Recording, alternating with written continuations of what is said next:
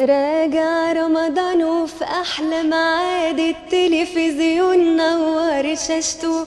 ترتتا آه، دقينا الباب على عمه فؤاد وفتح لنا قلبه ومدرسته. تم بام هو ده اللي خلصان.